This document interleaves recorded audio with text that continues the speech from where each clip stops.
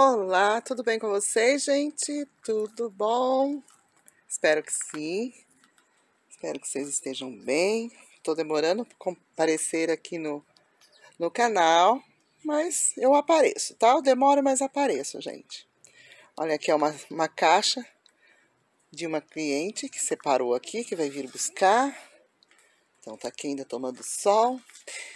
E hoje eu venho aqui a convite de uma youtuber que deixou em aberto um vídeo pra gente tá, mostrar, tá mostrando as suculentas top 10 da gente.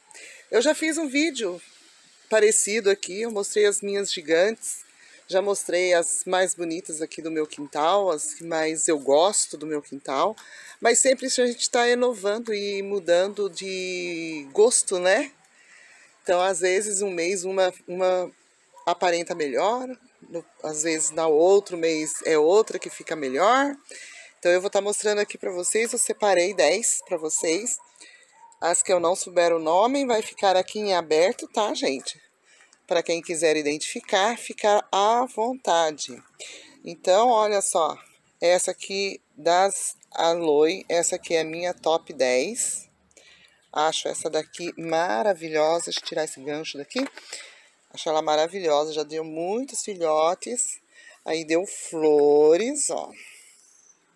As florzinhas dela como que são. É uma aloe.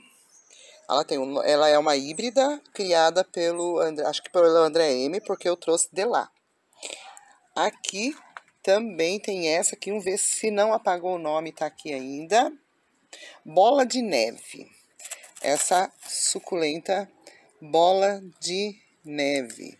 Olha só, ela seca bastante as folhinhas dela e ela vai surgindo folhinhas novas, muito fácil de cultivo, forma colônias. Ali eu já destaquei uma e deixei ali separadinha. Então essa aqui é a bola de neve que também veio do brilho do sol. Aqui eu tenho um cacto. Eu trouxe um cacto, esse cacto aqui, ele veio para mim bem pequenininho, é, menor do que um pote 6. E olha só, hoje ele está no pote 18. E olha o tamanho, já me deu muitas flores. Agora não é época da floração dele. Então ele deu bastante flores já. E ele é largado, gente. Não tem muitos cuidados. É, não sei se ele dá brotos em volta ou não. Tô aguardando, que acho que agora que ele tá na fase adulta, porque foi a primeira floração dele. Então, aqui estão as três primeiras que é as minhas top aqui, que eu tenho muito atenção com ela. A minha outra é essa daqui, é uma Ionio. Essa Ionio veio da, de Portugal para mim a Josefina Henriques que mandou. Ela me mandou uma mudinha bem pequenininha. Ela já está bem adaptada, já está com filhotinhos.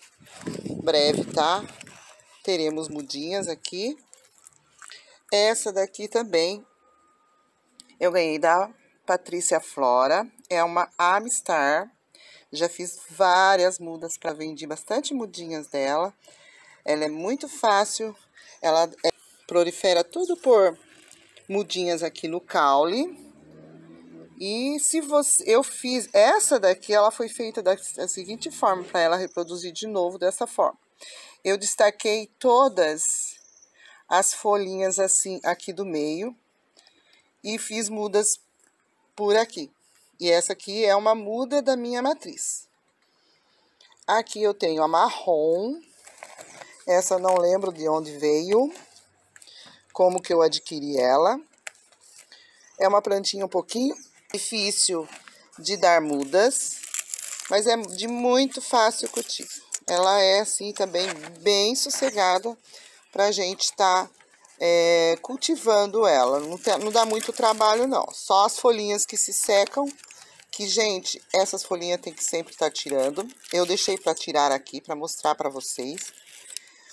Ela já deu as floral, então ela já está na fase adulta. Então, acho que em breve, se eu destacar algumas folhas aqui embaixo, provavelmente ela vai dar, como todas as outras mudas, ela vai dar mudinhas por folha. Não testei ainda, mas como todas as equivérias, provavelmente essa também é assim. E aqui também tenho outra. Essa aqui também foi um presente da Patrícia, da Patiflora. É uma hum, corderói, uma agavoide corderói.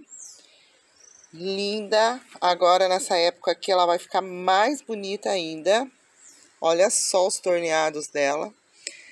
É uma planta que não pode com muita umidade, não pode ficar muito tempo úmido ou molhada mesmo. Então, eu mantenho ela na estufa, eu faço as regas controladas, porque como todas as agavoides também não gostam mesmo de muita água, porque realmente elas apodrecem, né? Aqui eu tenho essa lindinha aqui, gente. Essa daqui, ela é muito pequenininha. Eu vou pôr a mão aqui, ó. Ó, ela é muito pequenininha. É uma Arium. Só que essa aqui é com verruga. Olha só as verruguinhas dela. Linda. Essa aqui é um bebezinho, foi feito por folha. E aqui eu tenho a basfo, gente. Eu nunca tive, nunca é, cultivei essa planta. Aí, como veio umas plantinhas aqui para eu vender, eu tirei algumas folhas da mudinha que veio. E aqui está, ó. Eu tenho essa mudinha e eu fiz mais cinco mudinhas por folha. Muito fácil de multiplicar por folha. E ela ó, já está com filhotinhos ali embaixo. Ela é, é de, de formas de colônia. Então, ela fica muito bonita. Eu vou mostrar a mãe dessa daqui para vocês. E aqui, ó, é a mãe. Solzinho tá bem... Olha só, Arion Hoje, agora, ela não está com verrugas, mas também ela já ficou com bastante verruga, já foi desgastando as verrugas aqui. As folhinhas do meio não vieram com verruga agora, mas é a mãe dessa pequenininha que eu acabei de mostrar para vocês. E por último, eu vou mostrar a minha, acho que são 9, 3, 6, 9. E por último, eu vou mostrar a que é a mais queridinha aqui agora do quintal, que eu tô com maior cuidado, porque agora acho que ela vai florir, porque enquanto eu tinha ela pequena, ela foi só, eu fui tirando muda, fazendo mudas, e acabei não vendo a floração dela. Depois que eu fiz um vídeo que vou deixar aqui em cima no cards para vocês, todos os vídeos que eu fiz das as 10, as top 10 para vocês, eu vou deixar aqui no card, no alto da tela. E aí eu vou mostrar as top 10 do lá do comecinho do meu, desse meu canal.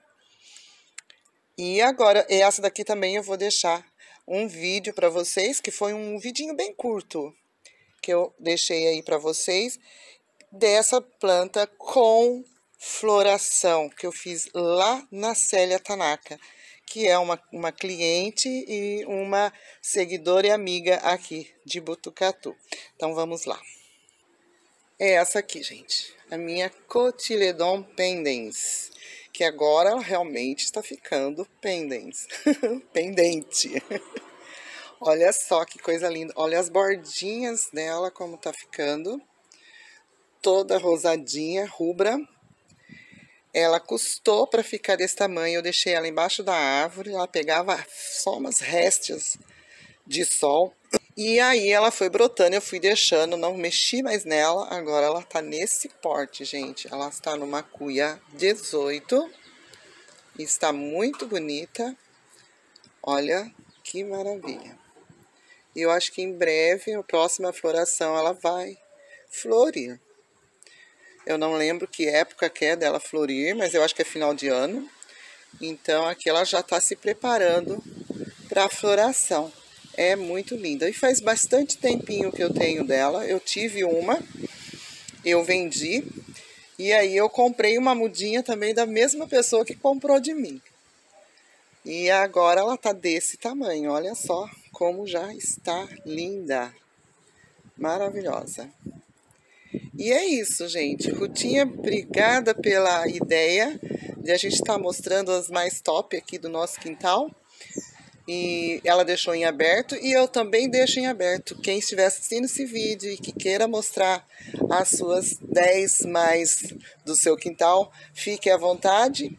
É só direcionar o crédito aqui para nós, né? Ou para mim, para a Rutinha, para que a gente possa uma ajudar a outra. E é isso aí, gente. E até o próximo vídeo, que será em breve. Tchau! Olha aqui, gente, isso que é lindeza. Espero que vocês estejam vendo essa maravilha. O estresse dessa planta, sem comentário. Olha só, e deixa eu mostrar para vocês bem de pertinho a floração. Olha só cinco pétalas, um tipo de um sininho. Maravilhoso.